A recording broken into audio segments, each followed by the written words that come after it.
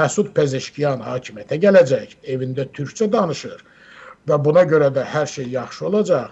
E, bülbüllər daha şaqraq oxuyacaq, ağaclar daha çox çiçəkləyəcək. E, Təbrizlilər demiş ki, baba, bunların hamısı mündəricə rəvayətlərdir. Bunlar ola bilməz.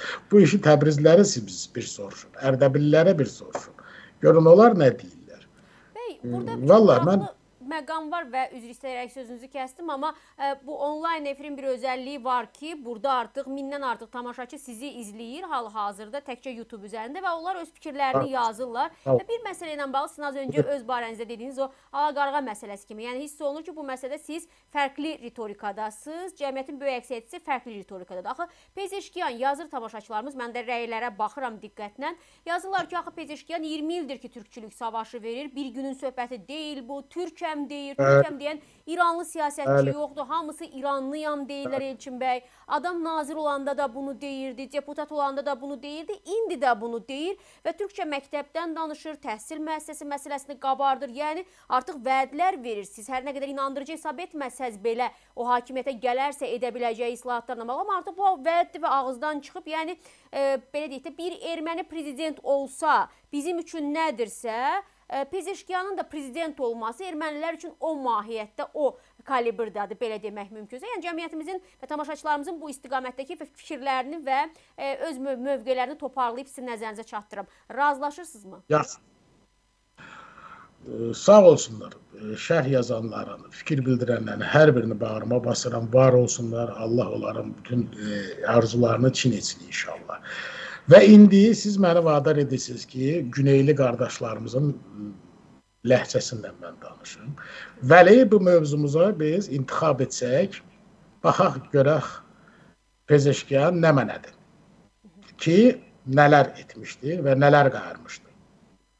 Bəli, Pezeşkiyan 10 illərdir deyir ki, mən türkəm. Bəli, o deyir ki, türk dilində məktəblər açılmalıdır. Bəli, o deyir ki, türklərin rolu artmalıdır. Fəqət niyə deyir? Axı mən ə, e, Bernard Shaw'un bir sözü var. Sadəlıq olmaq üçün çox qocayam, Sevinç xanım. Bizim bir şairimiz demişkən ə, e, nağıllara inanmıram da mən. Vurun öldürün məni. İnanmıram nağıllara. Mən kinolara da inanmıram. Siz məni inandırmaq istəyirsiniz ki, dünya gözəldir, amma valla qazan deyir dibim ağdır, çömçə deyir gəzib gəlmişəm. Mən İran siyasətinə xeyli bələdəm. Bilirəm. Əvvəla İranda bax Səid Cəlil o gün başına türkmən papağı qoyub türkmən dilində danışır. O demək deyil ki, o türkmənləri çox istəyir. Xeyr, qətiyyən. Cənab Pezişkanın mən əleyhdarı deyiləm, düşməni də deyiləm. Pezişkan yetərincə savadlı, yetərincə ləyaqətli və şərəfli bir adamdır. Amma Pezişkanın verdiyi vədlər onun boynundan aşar. O onu edə bilməyəcək. Bunu demək istəyirəm mən.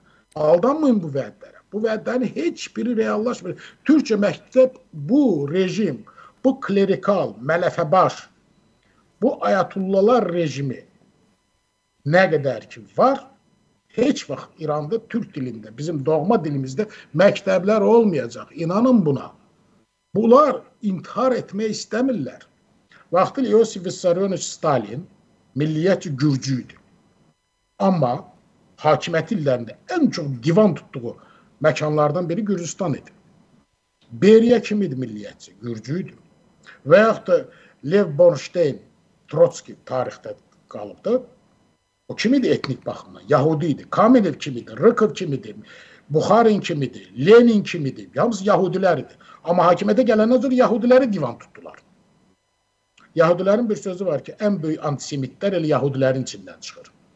Ona görə İranda türk məktəblərinin açılması İran rejiminin süqutu ola bilər. Bu olmayacaq. Açmayacaqlar. hə, Ermənistanla münasibətlər Pezeşkan gələndən sonra daha da inkişaf edə bilər.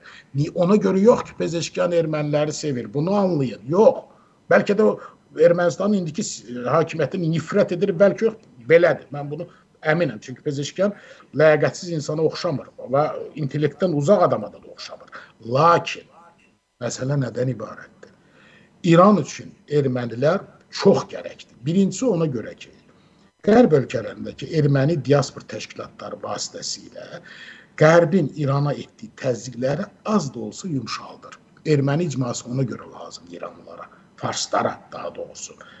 İkincisi İran daxilindəki erməni icmasını pəhpəhlə o yaramaz Qaratskoy sakinlər baxırsan ki, bir qotur itdi, jaket də geyindirirlər, bəhbəhlə dırnağını tutturur eləyir. Bax ermənilər, İrandakı ermənilər Fars rejimi üçün o qotur balaca, balaca bir qutuya yerləşən itdi. Onu bəhbəhlə püf-püflə saxlayır. Niyə?